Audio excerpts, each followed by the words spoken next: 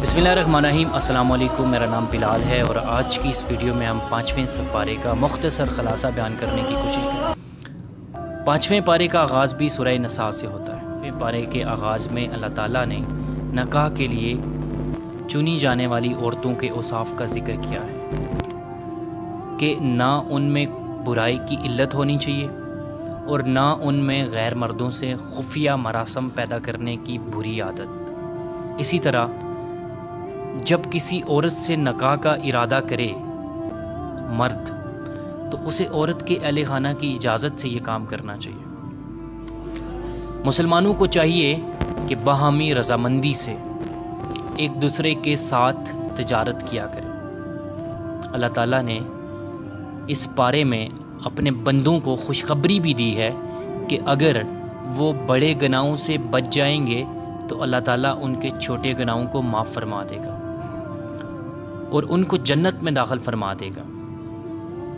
इस पारे में अल्लाह ताला ने घरेलू सतह पर इख्तियार का तयन भी फरमा दिया कि मर्द औरतों पर निगरान की हैसियत रखते हैं। कुरान मजीद ने हमेशा मर्दजन के बाहमी हकूक़ का ज़िक्र किया है। इस पारे में अल्लाह ताला ने वालदेन, करीबी, अज़ीज़, अकारब, यतीमों, मसाकीन और करीबी हमसायों और दूर के हमसायों से हसन सलूक का हुक्म दिया है। इस बारे में इस आयत का भी नजूल हुआ है कि ए ईमान वालो, नमाज़ के करीब ना जाओ जबकि तुम हालत नशा में हो। यहाँ तक कि तुम्हें मालूम हो जाए कि तुम क्या कह रहे हो। इस आयत के शान नज़ूल के हवाले से अबू दाऊद, नसाई और तरमेज़ी ने अल्फाज के कुछ इख्तलाफात के साथ रवायत की है कि अब्दुल रहमान बिन औफ ने शराब हराम होने से पहले चंद महाजरीन और इंसार साहबा को दावत पर मदू किया। उन्होंने खाना खाया और शराब पी ली।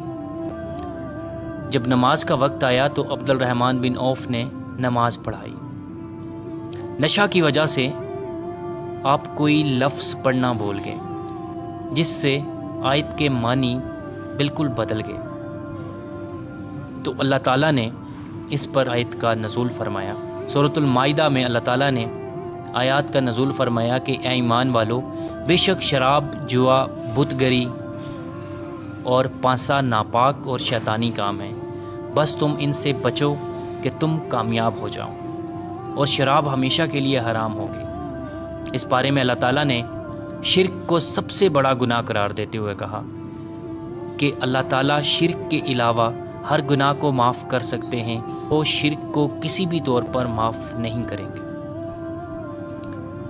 इस बारे में अल्लाह ताला ने हसद की शदीद मजम्मत करते हुए कहा है कि हसद करने वाले लोग दर हकीकत अल्लाह के फ़ज़ल और अता से हसद करते हैं।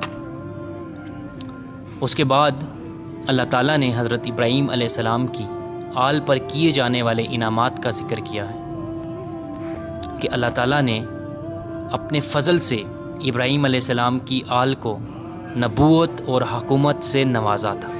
अल्लाह ताला ने इस पारे में ये भी इरशाद फरमाया है कि अल्लाह ताला तुम्हें हुक्म देता है कि अमानतें उनके अहल के पास पहुँचा अमानतों में हर किस्म की अमानतें, चाहे अल्लाह की हों या बन्नों की, सभी शामिल हैं। रसूल करीम सल्लल्लाहु अलैहि वसल्लम को अहल मक्का दुश्मनी के बावजूद अमीन कहते थे।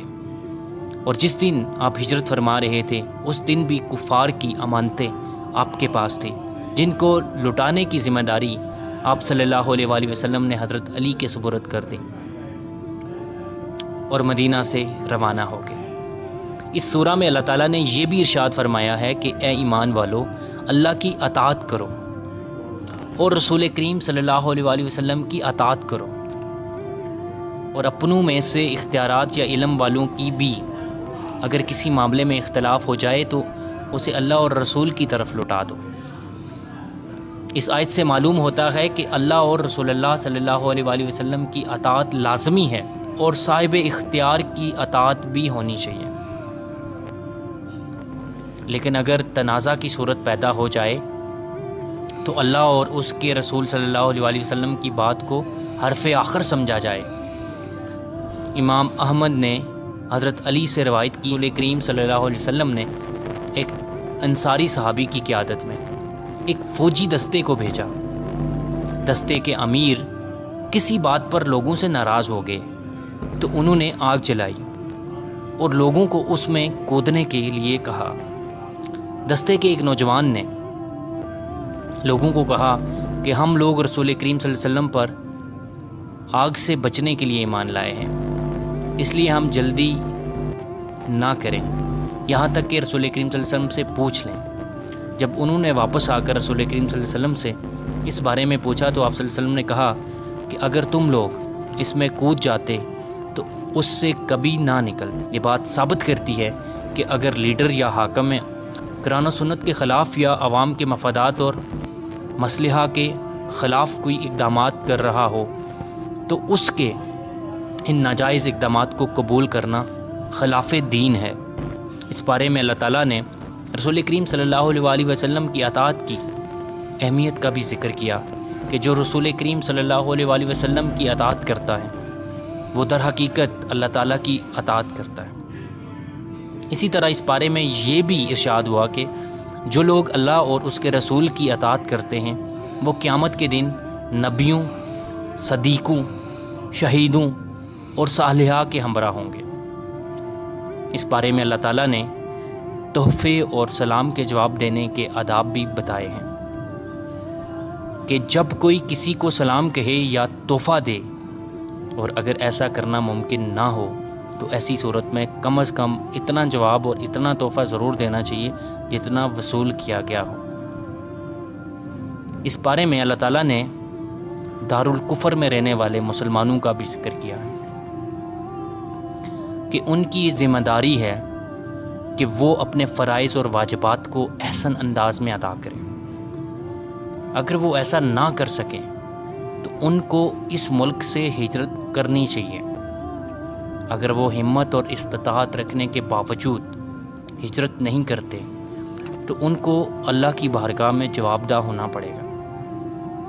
ताहम, ऐसे लोग और औरतें जो माजूरी और बढ़ापे की वजह से हिजरत से कासर होंगे तो अल्लाह ताला उनसे मुआवजा नहीं करेंगे। इस बारे में अल्लाह ताला ने नमाज़ की अहमियत को उजागर करते हुए कहा है। ताहम जहाद और सफ़र के दौरान नमाज़ को कसर किया जा सकता है। खौफ और जंग की हालत में फ़ौज के एक हिस्सा को अपनी पेशा वाराना ज़िम्मेदारियों को अदा करना चाहिए, जबकि एक हिस्से को अल्लाह ताला की बारगाह में नमाज़ को अदा करना चाहिए।